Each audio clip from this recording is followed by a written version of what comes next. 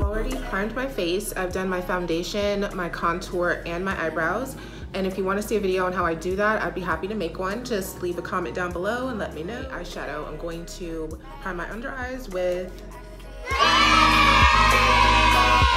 guys, I'm telling you, this powder is so good. Like, yes, it looks pinky, but don't worry about that because for whatever is in this stuff, I mean, it is a dream. Like, it blends perfectly into the skin. It just melts into the skin the pinky color just almost disappears. It's completely invisible. I mean, I'm a fan. Patrick, you did that. You did that with this powder.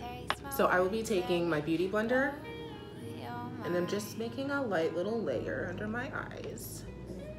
And again, this is just to prevent the powder from, or the eyeshadow from falling all over my makeup. What I'm gonna do next is I'm going to be setting my under like the brow area. So I'm going to be using a neutral color and I'm taking the Naked palette. And this is the Naked Heat. This is the color Chaser. And I'm just going to add this underneath my brow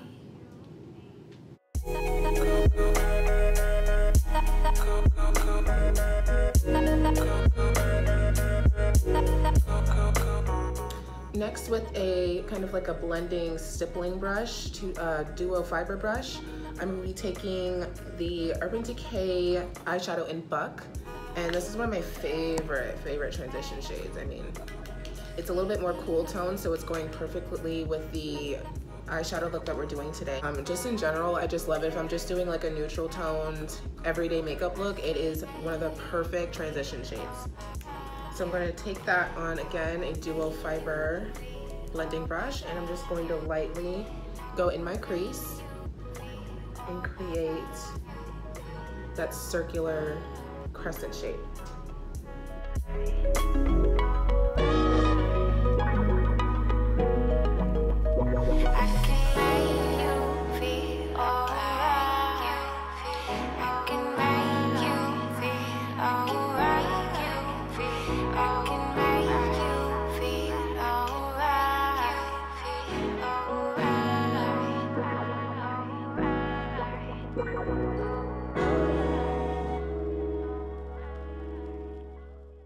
Also with blending out this transition shade, make sure you're keeping it pretty low because with cool tone shades, I find that if you bring it a little too high, it can kind of look like you're sick. Like you don't wanna look sick, not cute. You just, you wanna look cute. You don't wanna look sick.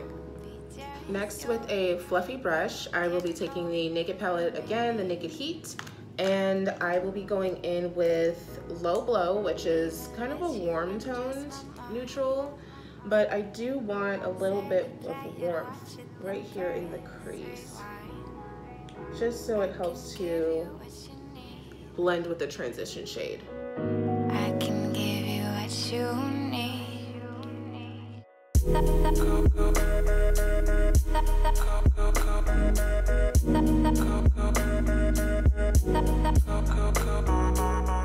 Going in with a darker, more charcoal shade, and I will be using this really, really old NYX palette. You guys, don't judge me. It is like the NYX Smoky Eye matte look, and it's One Night in Morocco.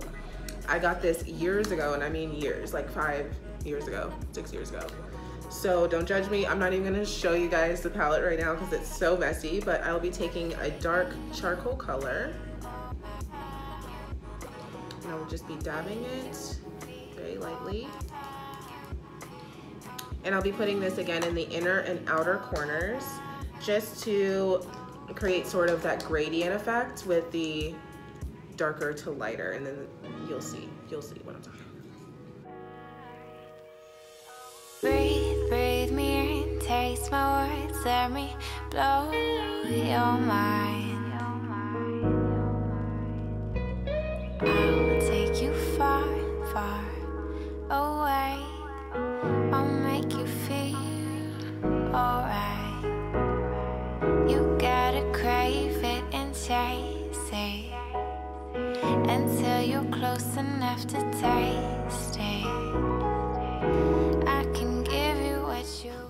And again, I'm taking the NYX One Night in Morocco palette on an angled brush, and this is more of a fluffy angled brush.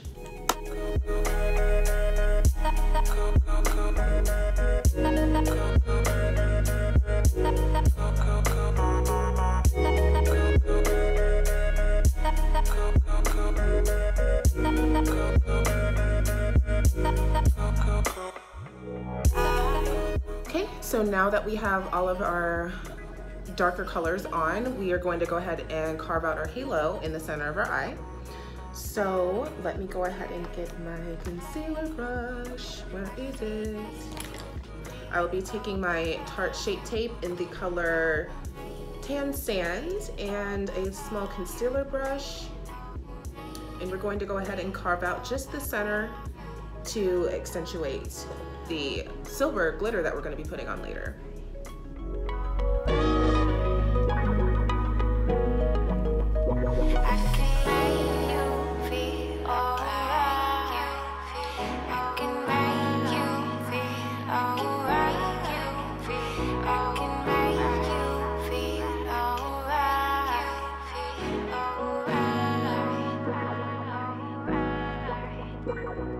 Next, I'll go back in with my fluffy brush and I'm just going to blend out the edges. Listen long, long enough. You can love me.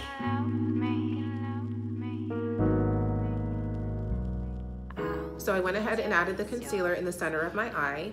I also went ahead and blended out the edges with uh, my fluffy brush with no product just to make sure that it helps to blend the halo.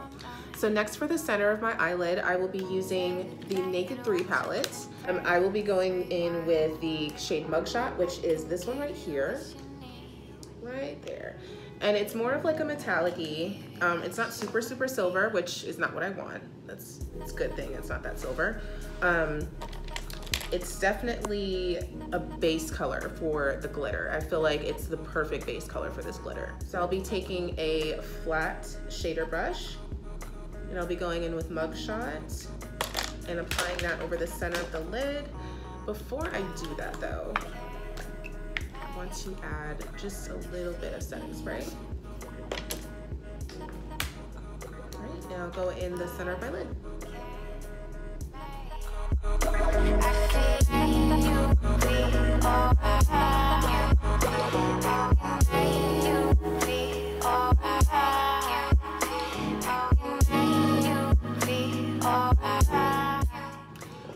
Next, I'll be taking a flat shader brush and I will be going in with um, the mid-toned gray that I used, the charcoal that I used um, earlier, and that is going to blend out the inner and outer corner on the sides of the halo just to help blend it all together. You don't want any harsh lines, you guys. Take you far, far away. I'll make you feel alright.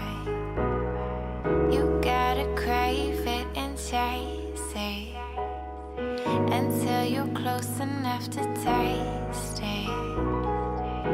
I can give you what you need.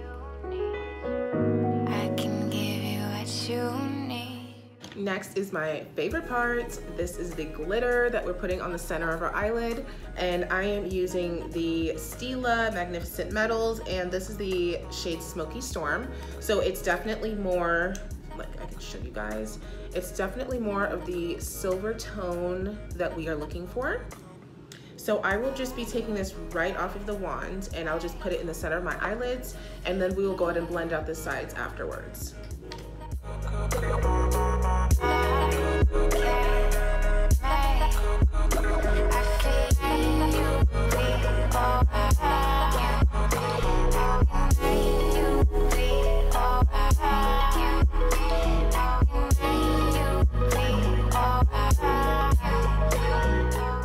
So now that we have that in the center of our lids, we are gonna go back in with our fluffy crease brush and we're gonna take that dark charcoal shade again, that very, very dark gray from the NYX palette.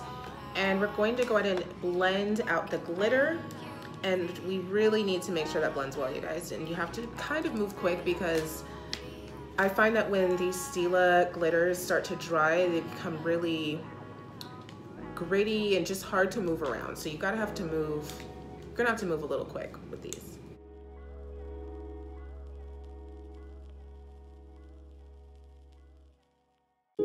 Listen long, long enough, you can love me. Looks pretty even to me. Next, what we're gonna go ahead and do is add some mascara. I'm going to be using the L'Oreal Telescopic, and this is the Carbon Black. Sorry, the labeling is kind of gone there, but yes, this is Carbon Black. Watch it, then press rewind. I can give you what you need. I can give you what you need. So I'll be working on my lower lash line. Um, what I'm going to do is start with a transition shade, and this is the one that we used earlier. I'm going to be taking my Duo Fiber, I guess, stippling brush, mini blending brush, whatever this is, and I'll be going in with Low Blow, and this is from the Naked Heat palette, and I'm just going to go under my lower lash line.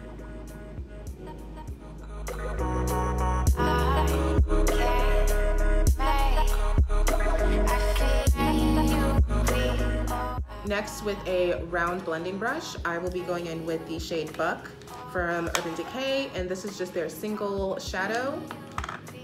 And this is actually the shade that we used um, partly as our transition on our lid. So we're going to go under our lash line now with this. Breathe, breathe me in, taste my words, let me blow your mind.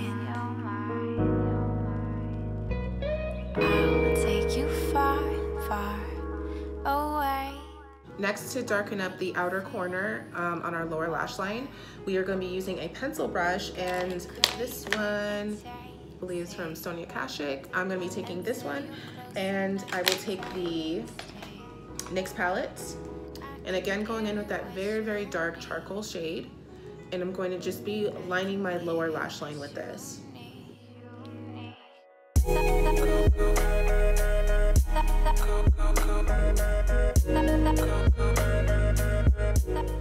Next, I'm going to line my upper and lower waterline. I will be using the Maybelline Eye Studio, and this is in the blackest black.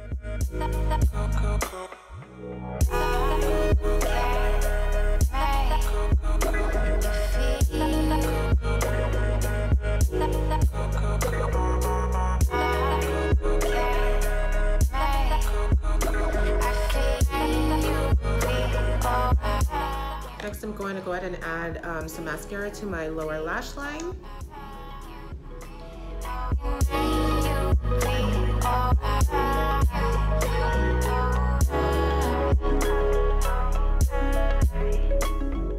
So I'm just going to take a fluffy angled brush and wipe away that powder.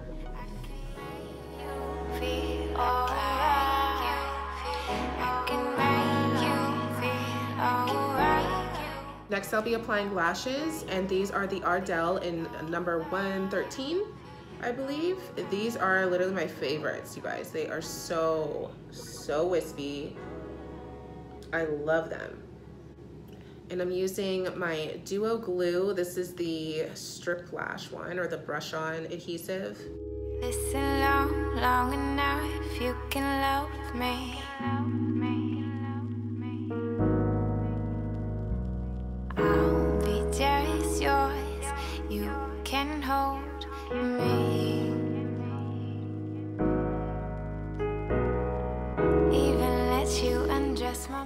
Now that we've added our lashes, we're going to go ahead and finish the rest of our face.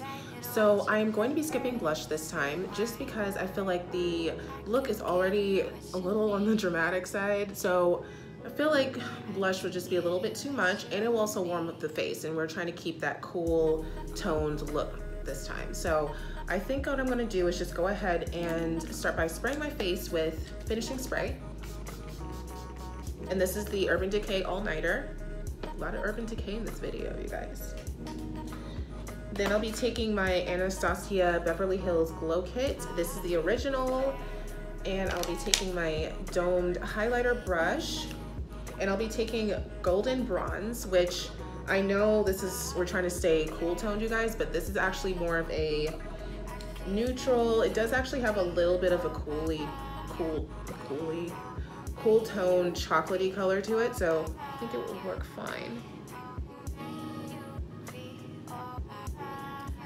a little bit on my forehead, just above my eyebrows. Cupid's bow.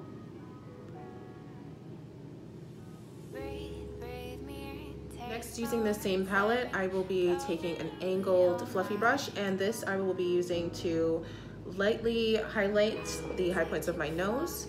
So I'm just lightly going down the center, just a little bit.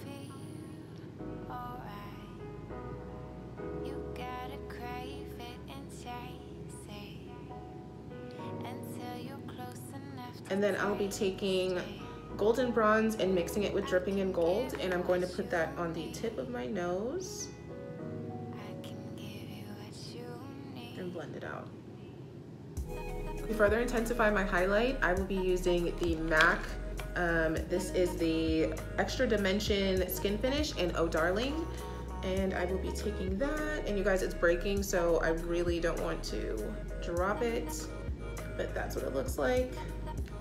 Really, really pretty color. And again, I will be taking my little angled brush and I'm just going down the center of my nose very lightly right here on the bridge because I don't want that to be too accentuated. Just very lightly blending it out. Then I'll be taking the same brush and putting the Oh Darling on the tip of my nose.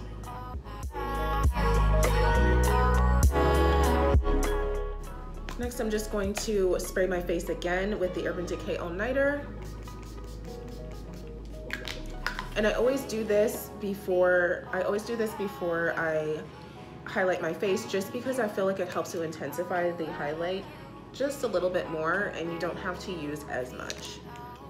And now I'm going to be taking my dome brush, my highlighter brush, and I'm just going on the high point of my cheek. I'm not going all the way up, just right here on that high point. You see how it gives you that? Oh.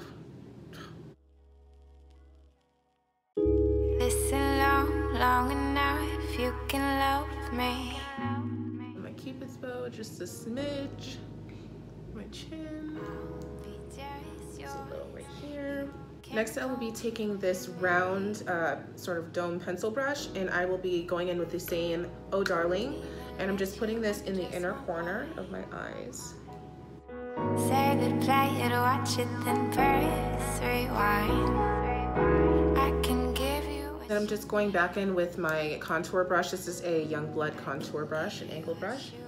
And I'm just going back in with my contour just to help blend it in with my highlight. Next it's time for lips. I've already added some lip balm and primed my lips. So next I'll be using the NYX Suede um, lip pencil and this is in the shade Downtown Beauty. And I'm just gonna go ahead and line my lips.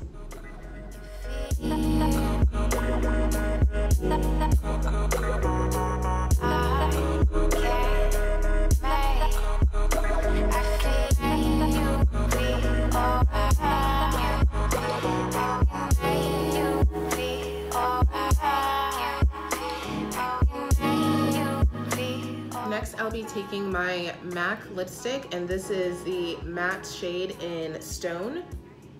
And I will just be adding this to my lips. Breathe, breathe me in, taste my words, me. So you guys, I almost forgot, I'm going to be adding my Anastasia Clear Brow Gel.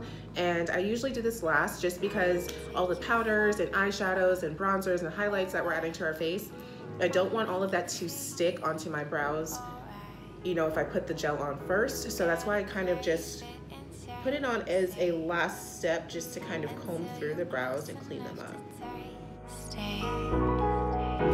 I can give you what you need.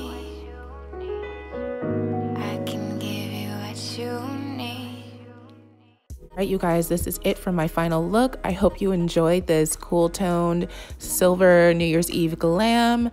Uh, obviously, I'm feeling myself. And so, if you guys like this video and you want to see more from me, go ahead and hit subscribe, like this video, comment down below. You guys know what to do. And until my next video, I'll see you guys later.